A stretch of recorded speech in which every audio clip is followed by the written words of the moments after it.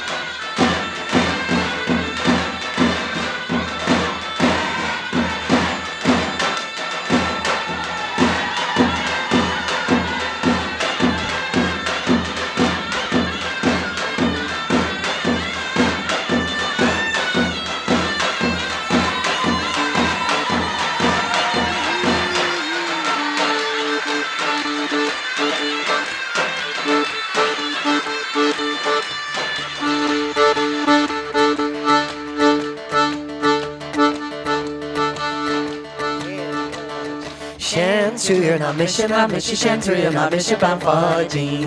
Shantru, you're my mission, I miss you, Savannah, heck of our culture. Rango, Gala, Gala, Miss Rango, Gala, La Porging. Rocko gargo gargo stuck in a wallet of mudley. Shant to you, my mission, our mission, shant to you, my mission, pan for jean. Shant to you, my mission, our mission, savannah, take back culture. Come mission, the hustle, the hustle, come mission, the hustle, pan for jean. Come mission, the hustle, the hustle, come mission, the hustle, the crower. Shant to you, my mission, our mission, shant to you, my mission, pan for jean. Shant to you, my mission, our mission, savannah, of back culture.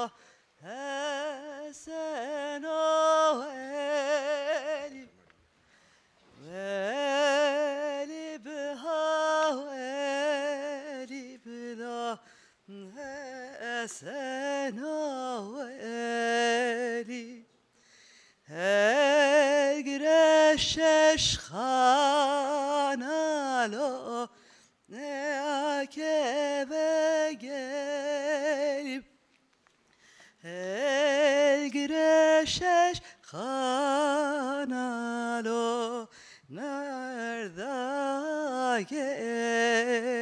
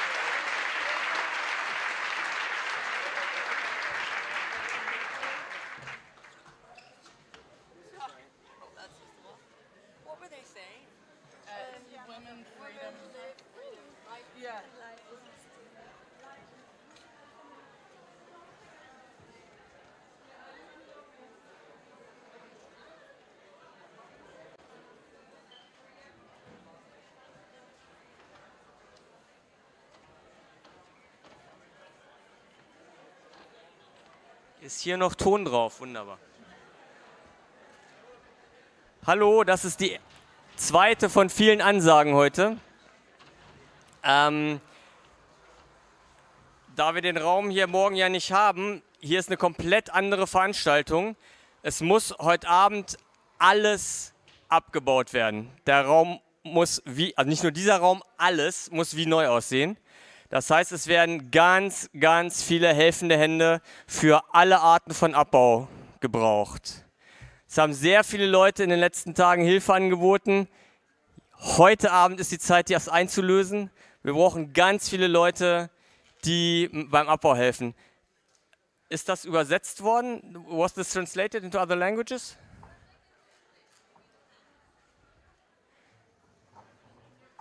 Okay, it has been translated. Thank you.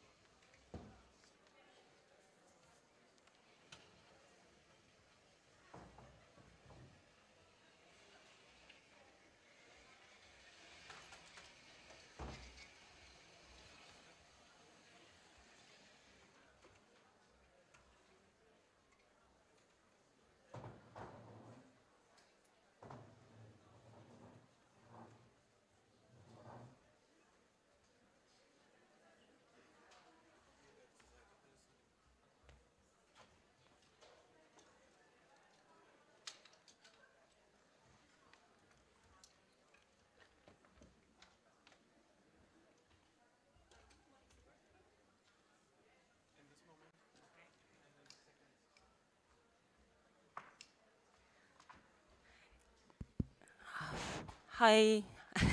Can I ask the panelists of this panel to come up the stage? I cannot see anyone other than Harriet.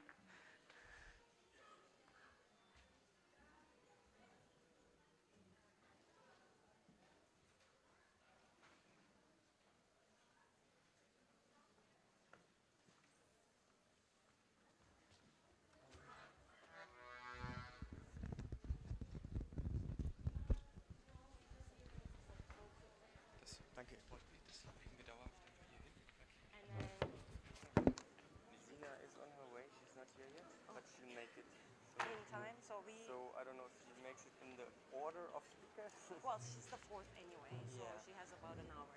Yeah, Uh, I think that should work. and uh, Azra?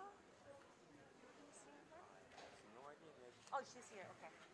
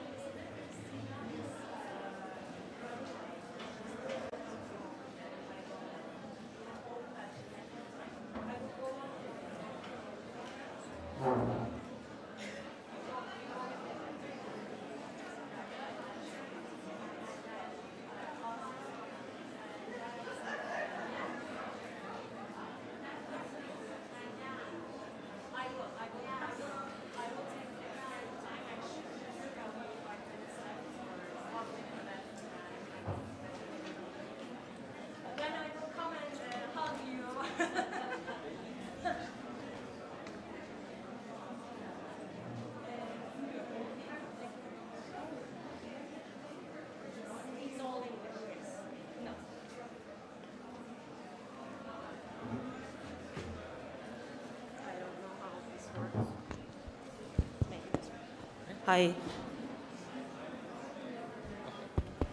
Okay. I, I think you.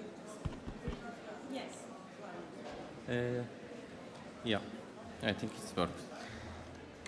Welcome everyone to, uh, we're going to be strict with time, uh, following Havin's uh, general uh, recommendation because we have to go through a lot, as you know. Uh, Havin's coming on stage. No, she's not coming on stage. Um, welcome to the first panel of, of uh, the fourth conference, um, Challenging Capitalist Modernity. Uh, if you had a chance to look at the program, you'll see that one of the main conceptual frameworks uh, that shapes uh, this version or this year's conference is to discuss and resist capitalist modernity as a multi-side regime. So today we're going to start, our first panel will be talking about ecocide as one fundamental aspect of capitalist modernity. Uh, we have um, we actually have five speakers on the panel, but one of them is on their way. Um, I will briefly introduce all speakers uh, as uh, their turn comes up. Uh, my name is Bengi Akbulut. I will be moderating, uh, mostly keeping our speakers in check in terms of time. And then when we have question and answer, uh, I will be moderating that part. Um, so we'll start with Necmettin, who is uh, replacing Derya Akyol on the program because Derya couldn't make it. Uh, Necmettin Türk is a PhD student at Hamburg University, and he is a member of the Mesopotamia ecology uh, movement. And we will be hearing from Necmettin first. And just a note to the translators, all the speakers will be speaking in English, so the translation will be from English to other languages. Uh, please uh, join me in welcoming our speakers and Necmettin.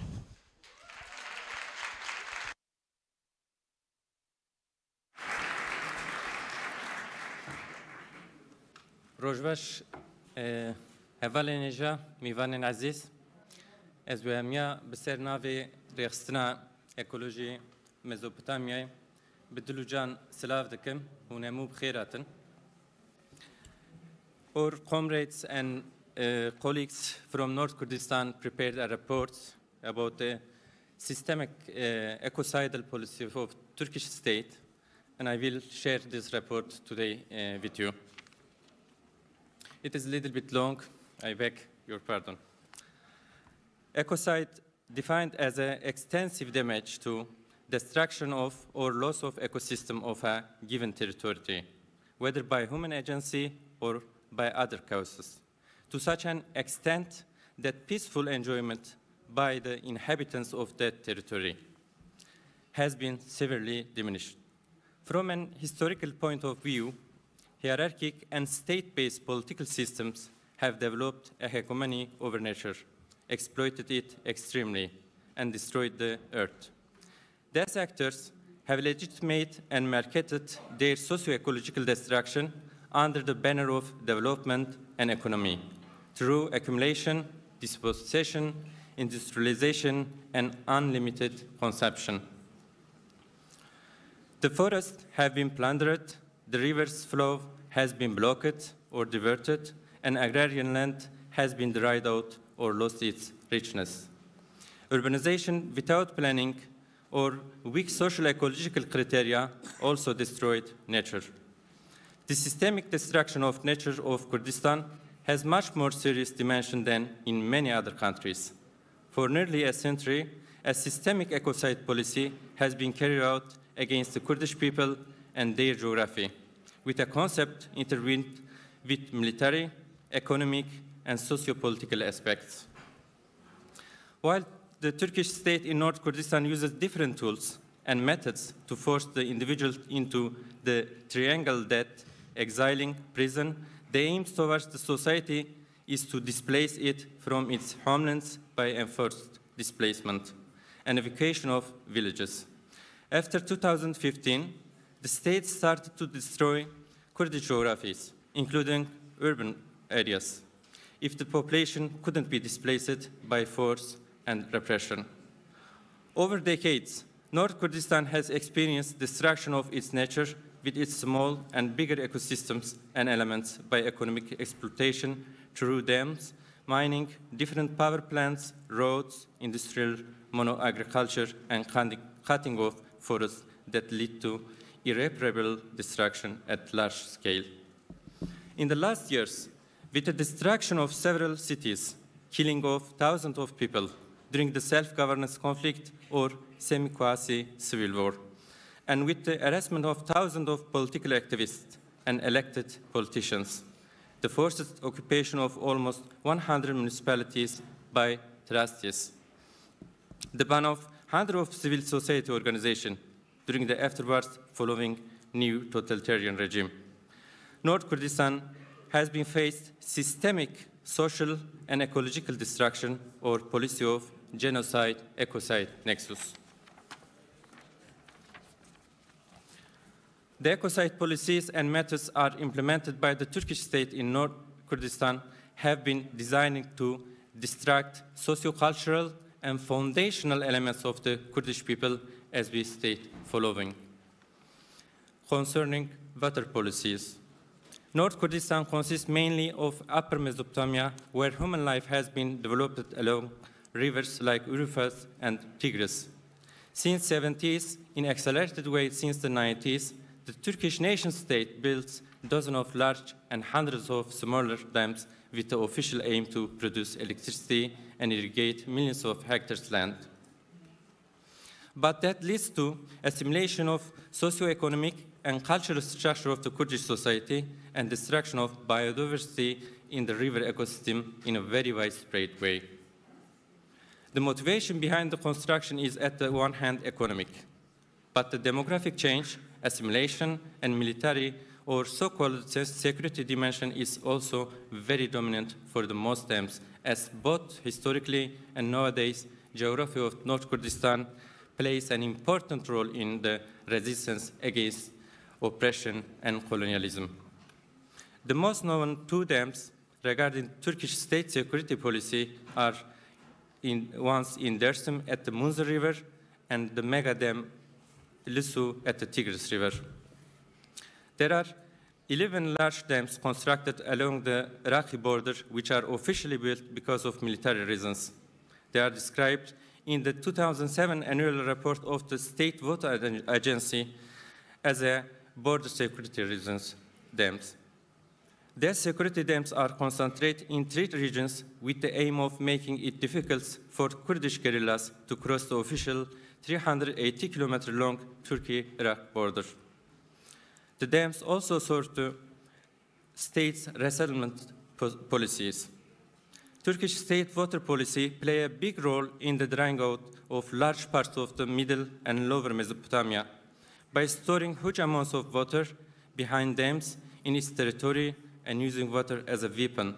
The people in Syria and Iraq suffer from water shortage for agriculture and drinking. They have started to leave their agrarian lands and move to cities. The whole ecosystem in this wide region have been detrimentally affected by the Turkish state transboundary water politics.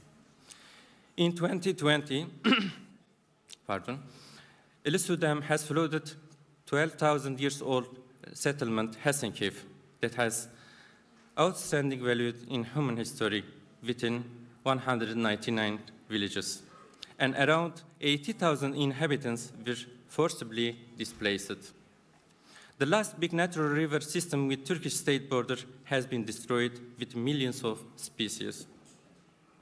The plain of Erdir is threatened by the construction of the hydroelectric power plant close to Kars Sarıkamış at the Aras River. This plain along the Armenian border is one of the most important agrarian regions in the North Kurdistan. Besides, agriculture, animal husbandry, and ecosystem have been detrimentally affected.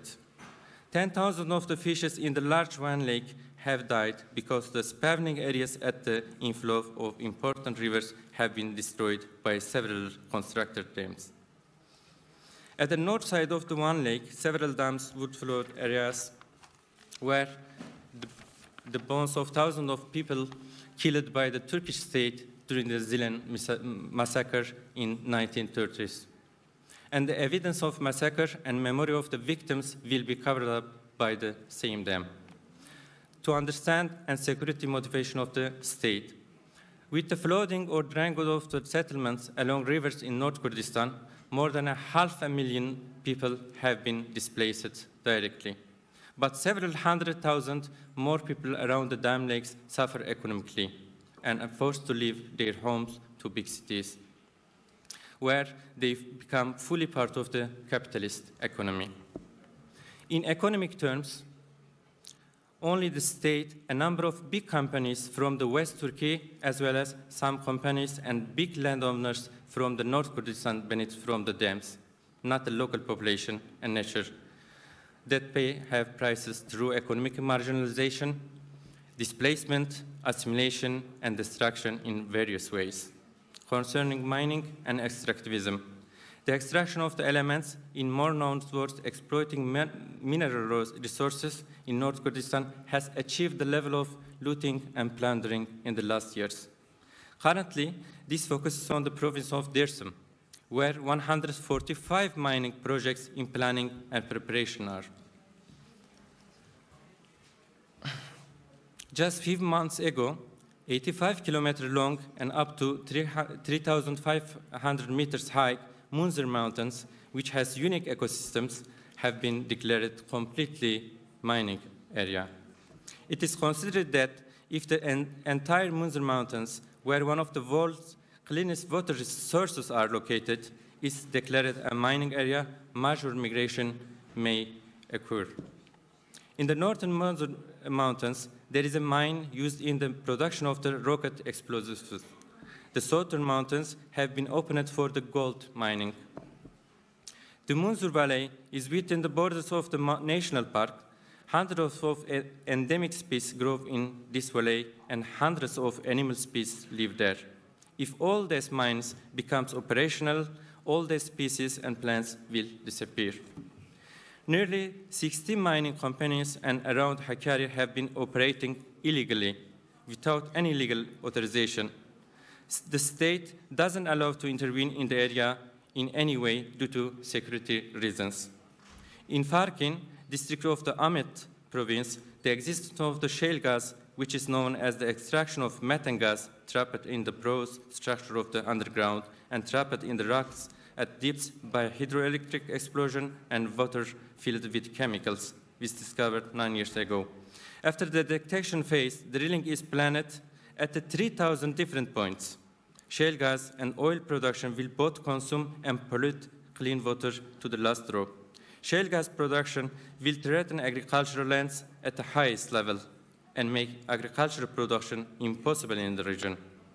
Along with human beings, other living forms will also be severely affected.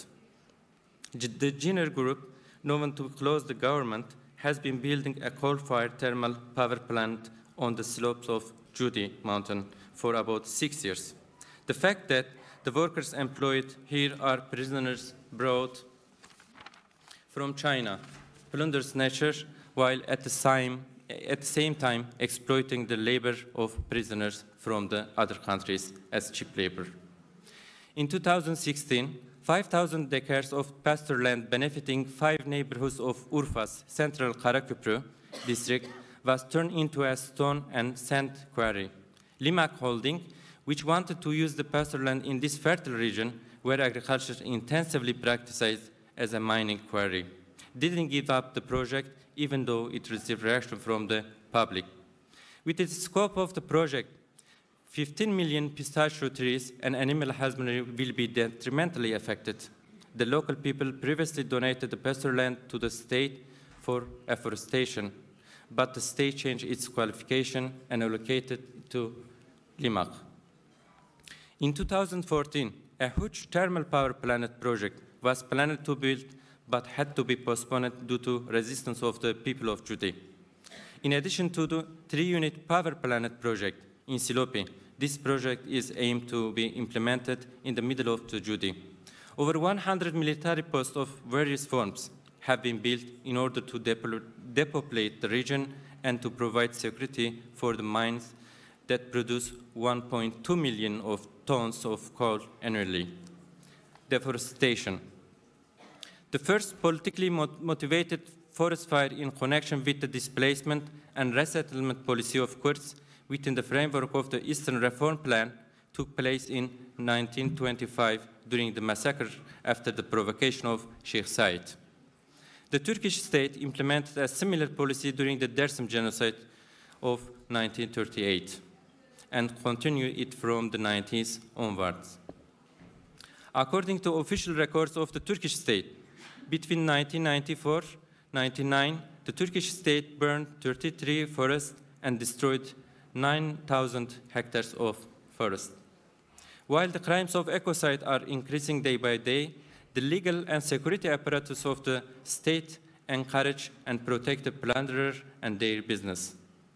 In the geography of Kurdistan, we are witnessing different phases of the policy of the massacre in addition to rent policies.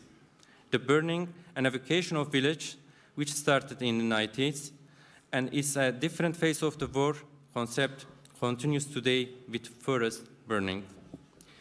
In addition to the destruction of the forest through forest fires, for the last two years, 30% of the forest area of the region has been cut down and transported by trucks to wood markets in Turkey, mainly in the areas of Shirnak, Judi, Besta, by so-called village gardens, paramilitary unit of Turkish army, rangers and their networks, with the instruction of the law enforcement forces. Against this, a large Judi march was organized with the participation of various environmental, ecological, women's and democracy organizations from Kurdistan and Turkey. Destruction of the historical and cultural sites and habitats. One of the sacred places of the belief of the Kurdish Alawi people in Dersim, Halvori Gözeleri, also has a historical significance due to massacre of the Dersim 37 and 38. The place, which has three sacred sites within its borders, is also placed uh, where the people of the Dersim, including women, elderly, and children, were massacred in the 1937 and 8. It is historical memory, to, memory of the Dersim people. Halvori Gözeleri, located in Munzur Valley, is an absolute protection area according to National Parks Law number 2872 and the National Parks Regulation. Despite this system of values, the state and related interest groups are trying to violate the cultural values of the region and carry out the hotel projects. One of the most important sites of history and social memory that has been subjected to destruction by the Ilisu Dam is Hasankeyf, a civilization, cultural, and historical heritage of the thousands of years. Although it is on the UNESCO Cultural Heritage List, it was submerged along with 199 villages and ag agricultural lands. The hydroelectric power plant projects planned for the Zilan stream in Erciş in 2014 have resumed despite the Council of State decision to them. Stop them. Today, despite the existing judicial decision and the lack of the environmental impact assessment report, the ecological and cultural heritage of Zilan stream continues to be destroyed and collective memory is being erased. Hevsel Gardens, which was included World Heritage List by UNESCO in 2015, along with the historic walls of the Diyarbakir, has a history of 80,000 years and is an oxy oxygen supply for the city. It has an aquatic ecosystem, is home to uh, 51 fish species, 20 of them is endemic. It also has a forest ecosystem and has a wide variety of the tree species. Despite this regulation, in 2016, this area was declared a special project area by the ministry and structures such as nation garden, cafes, observation terrace, asphalt and concrete road were started to be built. For the cafe alone, 1,095 square meters of green space has been destroyed. Again, orchards are being uprooted and turned into cafes and business places. Many endemic plant and animal species are threatened with extinction. In cities, especially Diyarbakir, Sur, Cizre, where many neighborhoods were demolished during the self-governance resistance and many neighborhoods were evacuated, the people who had previously migrated from the village to city as a result of the state pressure in the 1990s are now being forced to migrate through urban transfer, uh, transformation, uh, transformation projects. The state is trying to sell Toki buildings resembling half-open prisons, which are not suitable for the historical social texture of the localities in the cities. To people at the price of millions liras to the neighborhoods, they have no financial purchasing power. As if being affected by the forest fires and the tree felling were not enough, wild creatures from wild goats,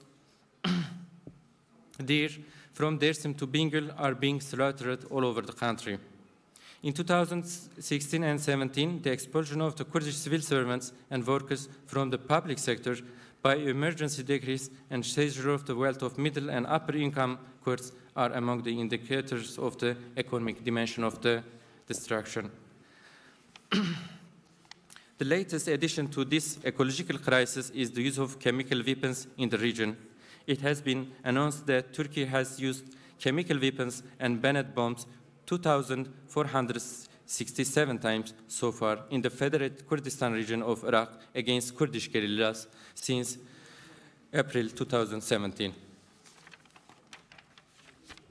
resulting in death of the 44 Kurdish guerrillas.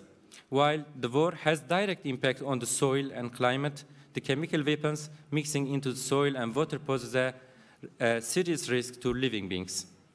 For this reason, these weapons will kill not only humans and animals, but also vegetation in the region, completely destroy the ecosystem of the region where they are used. In this sense, the massacre of the nature carried out in the geography of Kurdistan are also massacres of the Kurdish history and national values. It has also turned into a policy that is implemented with the framework of the complete special war strategy that also affects the nature of human beings. Thank you very much.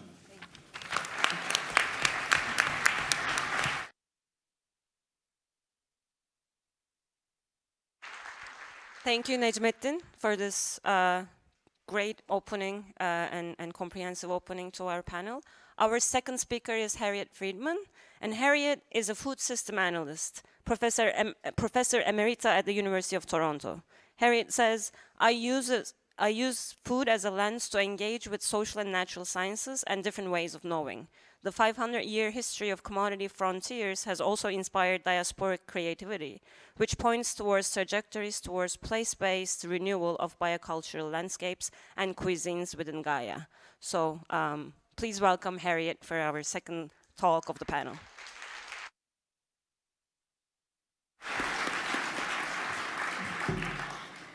Well, in contrast to that horrific uh, story, um, I have titled my, my talk, Regenerating the Gardens of Gaia. Putting this question of ecocide into um, the history of the earth is what can allow us, including for water, to think about how a regeneration can happen. Uh, so I'll just tell a little bit of a story about what's happening now. A full view of Earth's systems is that the atmosphere is kept in balance because pa gases pass through the bodies of living beings. Digging and burning the fossil fuels, the fossil bodies of our ancestors, and cutting living forests disrupt that balance. We are all made of carbon, Carbon becomes pollution only when it is out of balance. The biosphere is as crucial to the flow of gases in the air as those are to life. James Lovelock. Slow down. Slow down. Oh, I'll never get through it. okay. Um, and Lynn Margulis named this view of Earth after an ancient Greek goddess, Gaia. This means we should switch criteria for good politics away from carbon, which is reductionist. Carbon is, after all, part of all living things, including you and me, and it's part of the liveliness of each place on Earth. Attention to intensive livestock production combines climate chaos with ecocide. After decades of ignoring the critics of the agricultural system, especially livestock. uh, the agri-food industries finally showed up at both climate talks and biodiversity talks in the fall of 2022. Social movements, which had formerly focused on mining and burning fossil fuels, suddenly discovered that meat diets are ecocidal. Intensive livestock factories emerged only after World War II. For thousands of years, humans have co evolved with animals and shaped every landscape on Earth, as they still do in many places. Animal factories removed livestock from millennial ways of grazing grass, foraging forests, and eating waste in households and villages. They confined animals that fattened quickly into vast factories, so required feed industries, which in turn required vast monocultures of maize and soy, which in turn kickstarted the whole thing through US government subsidies for maize and soy. Once large enough, feed crop monocultures grew rapidly and spread to Brazil, Argentina, and other places. Monocultures are linear systems which necessarily deplete and pollute. They rely on fossil inputs for fuel, fertilizer, and pesticides, all of which unbalance gases in the atmosphere. Basically, if we can solve the biodiversity problem, solve the ecological problem, the atmosphere problem will take care of itself. They deplete, monocultures deplete distant phosphate mines and oil fields. They pollute soils and waterways with manure that cannot replenish soils as it should, and nitrogen runoff that creates dead zones. They drastically narrow the genetic base of plants and animals. The broken ecological links are replaced by flows of money. Today's monocultures culminate a long history of successive commodity frontiers, a term I take from Jason Moore. These began with sugar 500 years ago and now extend to every part of the world and every commercial crop. Since the 1990s, these include palm plantations, farmed fish, and standardized vegetables, which displace diverse and enduring landscapes, and the humans whose knowledge of natural cycles shaped enduring biocultural landscapes. Monocultural soy and maize are among the handful of internationally traded agricultural commodities. In the 21st century, finance capital created commodity index funds, one of their creative inventions, uh, leading to that crisis. Um, these commodity index funds link global, global prices of soy, maize, wheat, and palm oil with those of minerals and fossil fuels. What is meant by a food crisis is a rise in prices for those traded grains, not for broccoli. Uh, then came the turn of farmers as finance became interested in farmland and land grabs began. They were not interested in farmers or landscapes. Part of the problem is measuring the abstract idea of food in categories that are equally abstract, like calories. Consider food we think is concrete until if you try to imagine going into a shop or a restaurant and asking for food, you have to say what you want, right? Food is concrete and it is created by cultures that create cuisines. Just as intensive livestock created soy and maize deserts in what were once diverse forest, grasslands, and other ecosystems, now rivers and oceans are simplified with aquaculture, doing to waters what has long been done to the land.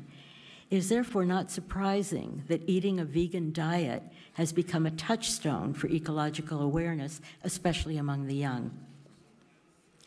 No doubt eating less meat, eating less of the products of an ecocidal livestock complex is a good thing. Rather, like driving electric cars is better than driving ones driven powered by gasoline. Still, without understanding how the ecocide of the livestock complex fits into the larger system, such actions can have perverse consequences.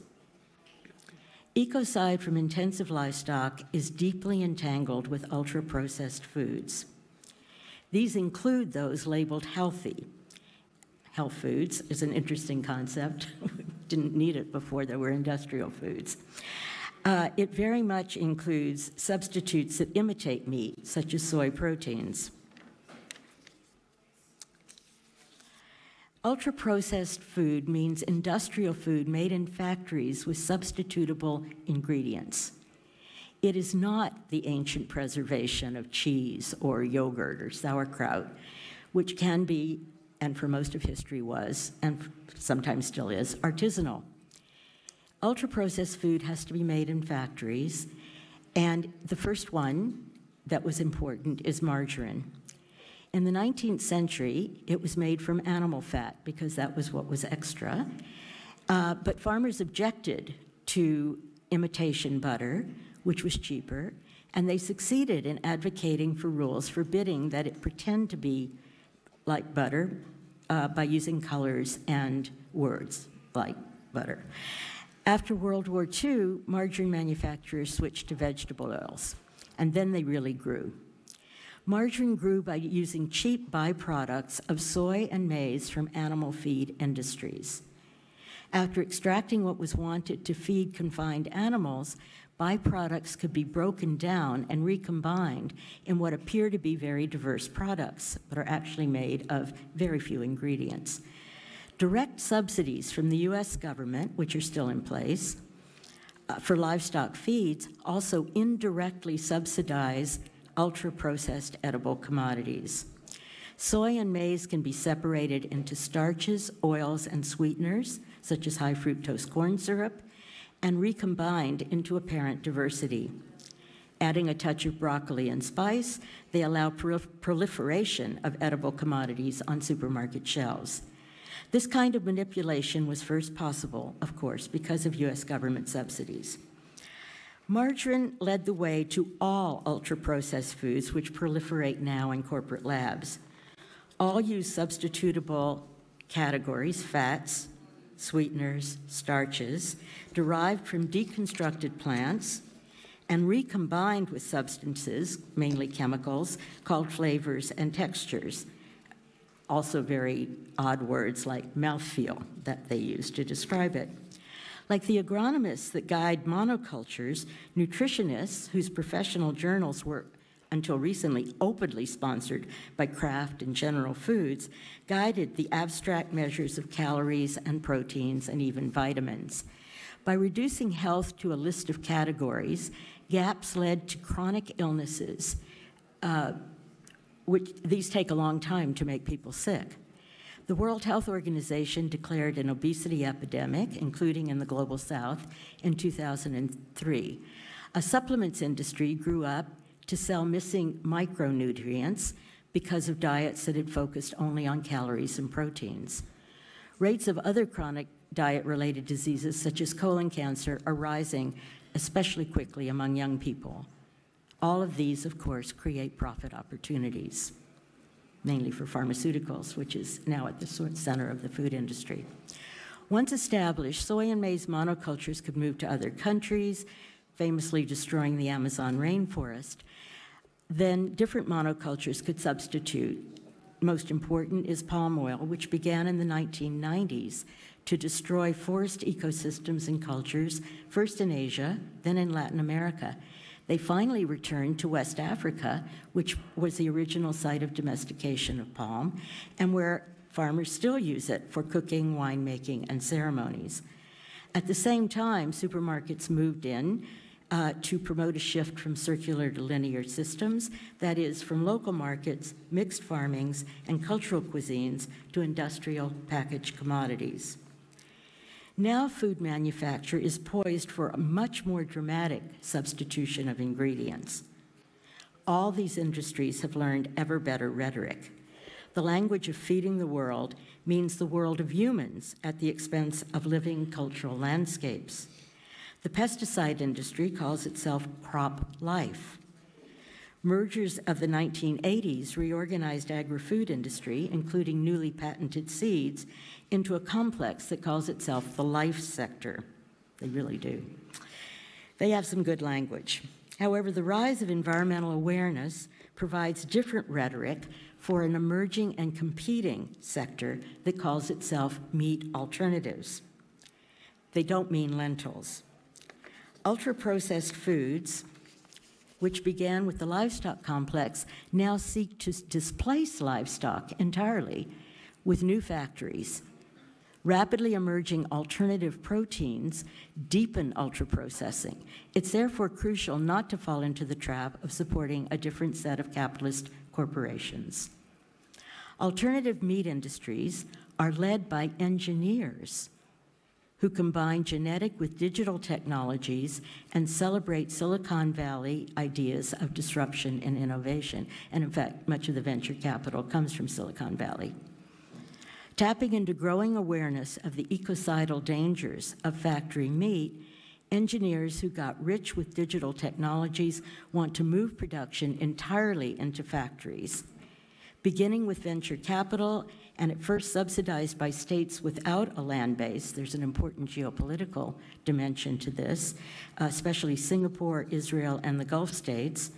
Investors now include giant corporations, Exxon, as well as Bayer and Monsanto. Cloned meat and fish reduce genetic diversity far beyond the damage that was done by the livestock industries. Precision fermentation which is not yogurt. um, fermentation is very ancient. Precision fermentation, with almost no resemblance to tradition, uh, uses microorganisms that reproduce in vats without sunlight or air using technologies developed in the US space program for astronauts, just like the internet. They create an extrusion, a substance, that can be shaped to imitate everything from scrambled eggs to curry to lasagna. Corporate laboratories threaten to deepen the corporate control over what might be called ultra, ultra processed foods. They cultivate a type of consumer called flexitarian. And it was important that so much of our language that seems good, because there's so many artists and writers who come up with it, uh, that they really uh, are spin. So ultra-processed foods are really class diets. It's all the food that the poor can afford, and it's contaminated by pesticides, hormones, and antibiotics. These aspects of the livestock industry could be solved, perhaps, by moving all food into factories, but the expense would be deepening class divisions for diet and health. Diet-related chronic diseases are understandably concentrated among the poor. Of course, agriculture is only one source of ecocide, along with mining and timber and other extractive industries. Partly I'm talking about it because it's what I know. But mostly, if humans are part of nature, then getting food is what we share with all other animals. We have to eat, and we want to eat. How we get what we eat makes all the difference. Of course, there's an alternative. Experiments abound in growing, preparing, marketing, and sharing healthy food from healthy farms, of relocalizing social and ecological relations. Agroecology, permaculture, urban agriculture, biodynamic farming are everywhere from Germany to China to Brazil to Malawi. To making, getting, and sharing food once again the foundation for living well in each place and in all places requires reversing the domination of finance. It means connecting across places to coordinate and support each other. It means remaking landscapes and social relations and creating bottom-up ways of governing ourselves. This links politics of food with conservation, and I really want to alert you to this new um, kind of formation of power and of opposition. The links, um, conservation has a sordid colonial history. The World Wildlife Fund began to protect African lions so English hunters could shoot them. It continued as enclosures of landscape, and does continue, as enclosures of landscapes inhabited by indigenous people, from the Himalayas to the Amazon to southern Africa. A particular view of rewilding, a fashionable word of the moment, is to evict forest dwellers, sacrifice their intimate knowledge, and manage from afar using abstract and limited scientific ideas. As for centuries, evicted inhabitants are turned by law into poachers and trespassers. Rewilding thus leads to violence against land and water protectors. The idea of wilderness itself could only emerge as a result of enclosures. The rich are able to enjoy forests and waterways. The most recent version is ecotourism, inviting a few evicted indigenous individuals to serve as guides and as guards of so called protected areas, meaning protected from humans, from their evicted inhabitants. One contrast to these false approaches is called convivial conservation. It's a book by Büscher and Fletcher. They want, from Verso Press, they want to rescue the word conservation to mean preserving together. Living together means decolonizing and demonetizing, the opposite of schemes to save nature by cre creating fictitious markets for what are called environmental services, which is what the Convention on Biodiversity does. Conviviality draws on liberatory ideas from Ivan Illich. It encompasses both new conservationists, as they call themselves, and indigenous peoples whose languages, such as Buen Vivir, express human intention to cooperate with all beings in thriving ecosystems. If nature is to flourish with people as part of it, then modernist division of spaces into urban, rural, and wild must go. Cities are beginning to rewild, and urban farming is blossoming. Farmers are rewilding, that is, they're stopping to kill predators of livestock and learning to live with them. So called wild places can rehumanize. The goal is to balance human needs with needs of greater than human nature. To do so requires also to subordinate economy to Gaia, to make food getting and other human activities serve conviviality, to help human life thrive by deeply embedding societies in biocultural landscapes. Justice is key. Büscher and Fletcher suggest a basic income to encourage stewardship to support inhabitants to stay on, using their knowledge and that of ecological sciences to stay and nourish all our relations, to regenerate damaged ecosystems, and to create ways for humans and other beings to eat, to cycle wastes, to flourish together. It means redistribution of wealth and new institutions to replace private property, perhaps commons, perhaps as in parts of West Africa, combining customary tenure with equality for women and youth. No single solution can shift from ecocide to regeneration. Instead, step-by-step changes allow for discovery of paths forward and for course correction as mistakes are seen. The goal is to subordinate what's called economy, that is, ways of working and sharing, to life. It is useful to replace reductionist thinking about carbon and ecosystem services with holistic thinking. Water, instead of being dammed, is a brilliant candidate for thinking about how to regenerate the earth, the gardens of Gaia. Water, like carbon, is crucial to life, but water circles and flows in ways that model how to reshape human societies ecologically. Every molecule of water exists in one place at any moment, yet changes form from liquid to ice to vapor as it flows up, down, and around. This is a very big idea, so let me give an example from my own bioregion, the Great Lakes of North America. The Great Lakes are one of the largest bodies of fresh water in the world. They are connected in one direction to the Mississippi River, which flows into the Caribbean Sea, and in another direction to the St. Lawrence River, which flows into the Atlantic Ocean. The water nourishes landscapes and peoples across a vast area. It evaporates into clouds, falls as rain and snow, and supports life in many climates. I'd hope to show a PowerPoint, uh, which is an image of the Great Lakes from space. It's very beautiful, green and blue with clouds. Uh, and then a map, which shows a red line through the Great Lakes that is the border between the United States and Canada. Farms and forests surrounding lakes on both sides of the border and the rivers, lakes, and streams that feed them and flow out from them are contested by indigenous peoples who have for two centuries been evicted, killed, and concentrated into small areas called reservations or reserves. If nature is to flourish with people as part of it, oh, sorry, sorry, did that, been there, done that. An effort to link divided elements is called the Great Lakes Commons. As an indigenous friend put it, the way to reconciliation between settlers and indigenous people is through mutual connections to a third element, the land. The Great Lakes Commons offers walks led by indigenous elders and dialogue about what the claim, the demand for land back, could realistically mean in landscapes deeply degraded by two centuries of colonial activities and many more inhabitants.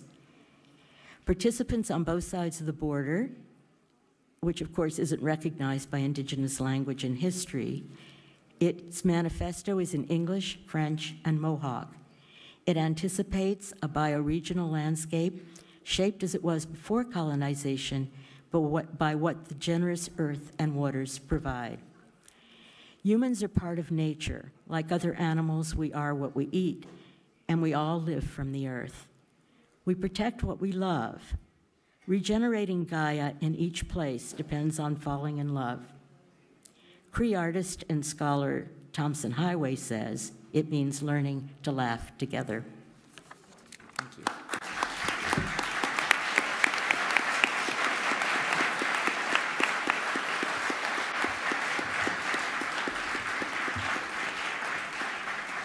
Thank you, Harriet. And before we move on, we have to take a short break. I was told that there's a problem with live stream and they restarted the system and it takes a little bit of time. So until we get the okay that the live stream is up and running, uh, we will just wait. Uh, but in the meantime, our, our third speaker has a presentation, a set of slides, I was told, so maybe we can. Exactly.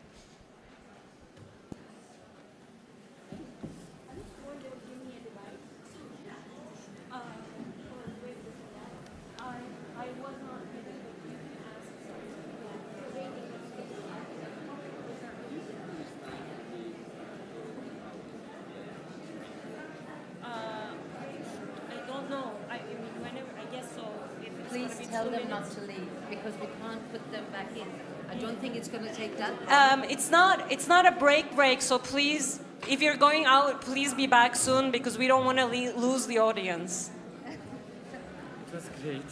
Thank you. I learned a lot. I, my master thesis was on the The first speaker, soil and Necmet. the agri- ecology. Uh, It was interesting. Then really, this um, very very European academic traditional that excludes